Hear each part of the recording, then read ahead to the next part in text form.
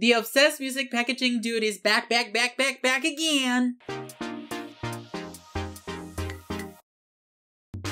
Hello guys, welcome back to the channel. If you're new here, hi, my name is Jorge and this is a crafter in training. Today I'm back in the music packaging world, this time with cassette tapes. I know that cassettes are somewhat dated and they are not as popular as CDs or DVDs, vinyl, Blu-rays. However, they have had a revival lately, and you know me, I love to have custom copies of my favorite music in physical form. I'll show you how to design, print, and put together your very own cassette in a jewel case like this, included printed labels. And next week, I'll show you how to make a sleep case like this one. They're really easy and fun to make, and they look really good in your collection as a novelty item. Or you can go back memory lane and make mixtapes for your loved ones. Alright, enough talking, Let's get started. Start by going into the description of this video and click on the link that says templates. There, it will lead you to my public OneDrive in the folder called Music Packaging. It was previously named CD Music Packaging, but I decided to rename it since I'll be venturing into other formats of music later on. There should be a folder called Templates. Once you're there, click on the folder labeled Cassettes. When you're there,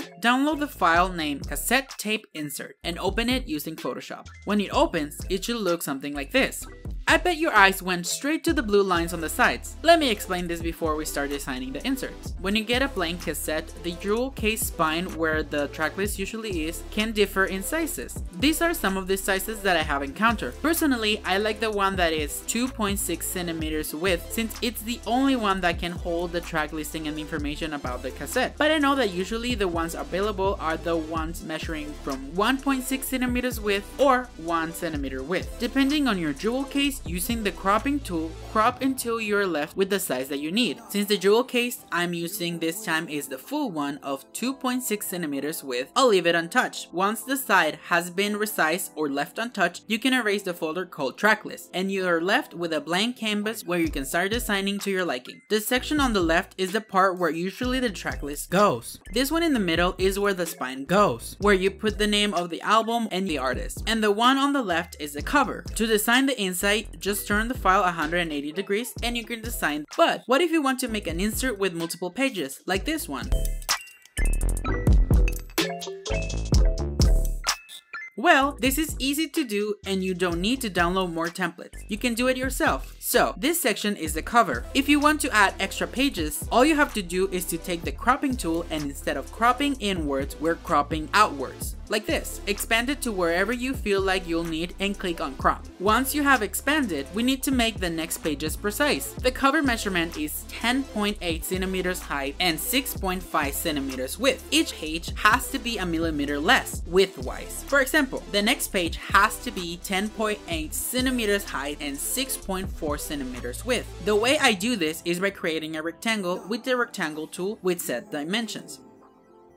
I move the guides from the ruler to mark it and then I delete the rectangle and it looks like this. I repeat the same step as previous but this time subtracting 1mm from the 6.4 so it would end up being 6.3 centimeters widthwise and so on until you have the sections that you want. With the cropping tool, crop the space you have remaining and you should have this. Now you can start making your designs. Remember to design the inside, just turn your file 180 degrees and you can start designing. One tip I want to give you is that you can use the line to mark the divisions to help you mark the folds once you printed it. You can use a similar color to the one you're using, but making the lines extremely thin so that at the end it won't be noticeable. Just a guide to mark the folds. Once you have your design finished, save them as a high resolution JPEG. To do the label is really simple. Just go back into the description of this video and click on the link once again. There it will lead you to my OneDrive folder called Music Packaging. Click on the folder called Templates. Once you're there, click on the folder labeled Cassettes. Download the file named cassette tape label and open it using Photoshop. Here, you can design your labels however you want. I recommend you to keep the layer 1 on top of what you're designing so that you know where things are being placed. If you're using a solid color on the label, just select the paint bucket tool to color it wherever color you want. If you're going to use texture background, place a texture on top of layer 1 and arrange it however you like. Crop it to size, move it around, etc etc. Then press command and move your cursor on top of layer 1. You'll notice it will turn like this. The label will generate a selection like so. Select the layer with your texture, then select the marquee tool. Move the cursor on top of the layer with the texture, left click it and select layer via copy. A layer with just the figure will generate. Delete the one that we don't need and continue designing the label as you wish. You can put any elements in your label as you wish, but the thing I mostly see in all cassettes is the title of the album, the name of the artist, and side A or side B for each of the cassettes, but I have also seen ones that they include the track listing for each side. Once you finish, save the file as a high resolution PNG. On my public folder, click on the folder called paper size and download the A4 size and open it using Photoshop.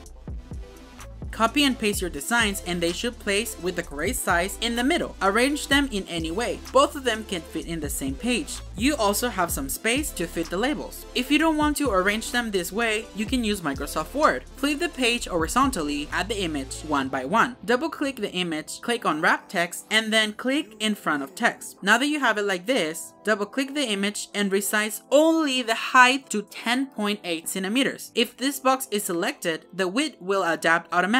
This is so to make it easy if your design is very long. Also, if you have many pages of the insert, you can change the paper from A4 to legal. To arrange the labels, import the pictures, double click it, click on wrap text, and then click in front of text. Now to make it the correct size, double click the image and resize it to 4.1 centimeters height and 8.9 centimeters width. And you should repeat this with the other label. Arrange them in a way everything fits in the same page. You'll notice that we're not printing the inserts on both sides of the paper. I'll explain why later. Once they're printed, it should look something like this. You'll notice that I printed two different inserts on the same page. This is because I'm doing two at a time, but I'll just work on one of them on this video. Start by cutting the inserts with an X-Acto knife and a ruler. I like using a clear acrylic ruler to help me see where I'm placing it. Once both sides have been cut, we need to join them together. The reason we did this instead of printing it on both sides of the paper is because one, the images sometimes come off center for a few millimeters, and the second one is because the paper isn't thick enough, and printing it on cardstock is not ideal. And the inserts of cassettes are somewhat thick most of the times. I use spray adhesive on one of the sides, although you can use a glue stick. And then I make sure both sides are facing the correct direction and I join them together, smoothing as I go. And it looks something like this. If you have any like pieces of paper hanging out, just cut them with your X-Acto knife. Now, to mark the folds, I use the guides I placed before printing and using the ruler and marking tool, I mark the folds and then with my fingers, I fold them. And that's it, the insert is done.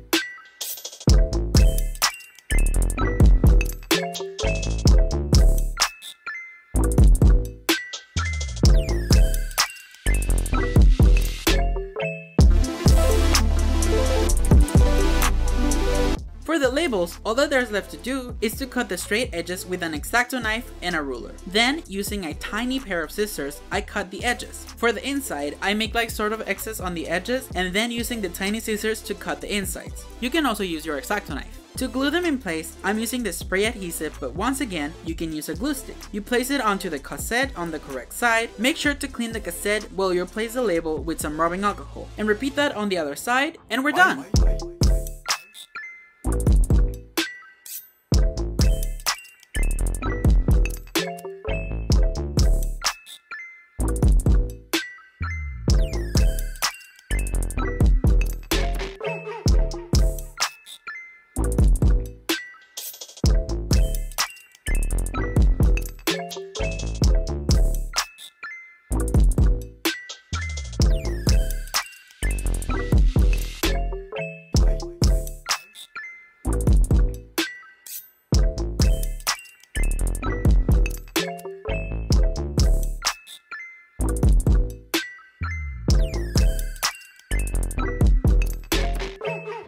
And that is it for this video guys. Don't forget to come back next week so you'll learn how to make the sleep case version. I hope you like it. If you like it, don't forget to give it a thumbs up. Subscribe if you haven't already. And if you are, thank you so much. Don't forget that you can follow me on my social medias at Crafter Training. And I'll see you guys in the next video.